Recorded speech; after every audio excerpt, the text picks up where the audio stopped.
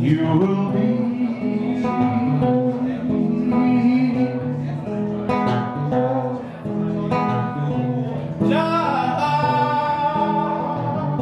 by your quality.